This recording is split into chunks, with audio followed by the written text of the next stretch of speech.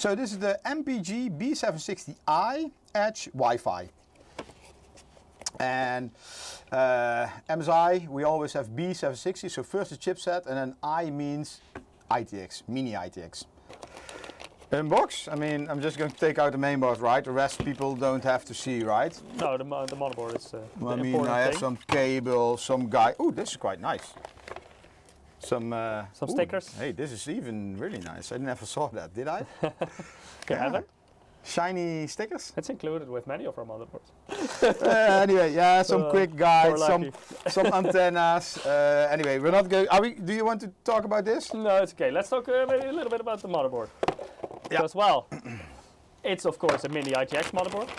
Um, basically, it will fit other cases as well. Like most micro ATX, uh, ATX, and even extended ATX cases, they use the same screw hole, so you can fit an ITX board in there. I have no idea why you would want that. Usually, you would, of course, go for an ITX case. Um, it has a very strong VRM design actually, so it's a direct 8 plus 1 plus 1 phase VRM design with 90 amp DrMOS. So also in terms of high-end CPUs, you should be good to go. This can easily run even a Core i9, um, as this is an Intel board of course. Um, it has Lightning Gen 5 on PCI Express slot. Uh, Mini are also ready for the future. Right now you don't really need it uh, for graphics cards. Even in most situations, PCI Express Gen 3, if it's times 16, is not that big of a bottleneck even.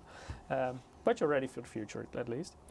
Um, it has two M.2 slots. Maybe let's go back to the board a little bit. Uh, Eric, can you show the two M.2 slots? Or can you find them, I should say. Well, I know one is on the Ah, back yeah, of the yeah. PCB, Very good. Yeah. And, and the other one? And then uh, the other one is below this heatsink. Yeah, correct? So, and yeah, normally, typically, if I would install this, then on the back of the PCB, if you uh, install this on the case, you want to put your OS drive there if you're using a, uh SSD for uh, operating system, because that one normally you don't have to upgrade or touch. Agree, Michiel? Uh, depends a bit on the case. In many cases, you can actually access it from the back. Okay. Well, if the cutout see. is big enough, I, am not sure about this one, uh, but if you can access it from the back, Yeah. it's quite easy still. Yeah, to- then it's no problem. it. And over here we case. have the uh, a heatsink on top of it. I Yeah, can. it has M.2 shield. So it has uh, one M.2 shield Frozr, that's the one on the front. Um, so it depends a bit. Eric said like you would use the one with your operating system there, but I would personally recommend to use the, the one that gets hottest, um, to use that underneath the M.2 shield Frozr. Yeah, that's also correct. Uh, so Yeah. for example, if you're using a Gen 3 and a Gen 4 SSD, usually the Gen 4 SSDs tend to run a little bit hotter, then I would put that one in the front and the other one in the back. Yeah, agree.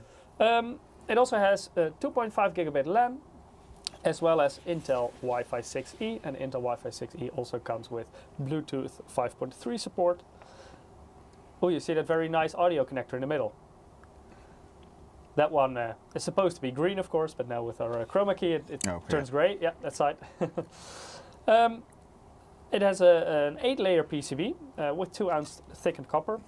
Yeah, that's a little bit hard to see. Uh, I know. I'm trying to show them, but but yeah, uh, usually ITX boards have, have more PCB layers, and that has to do with all the stuff that you have to cram on a very little all the PCB. signal uh, signals. Yeah, so basically all the, the traces have to walk over each other in terms uh, That's a bit to, to fit everything on that PCB.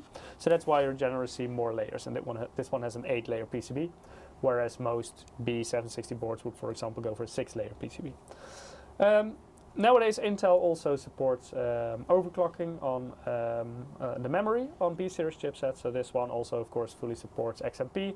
It also has um, uh, iExpo, so basically meaning you can also run uh, an AMD Expo memory kit on this uh, and run those settings, uh, even though it is an Intel board.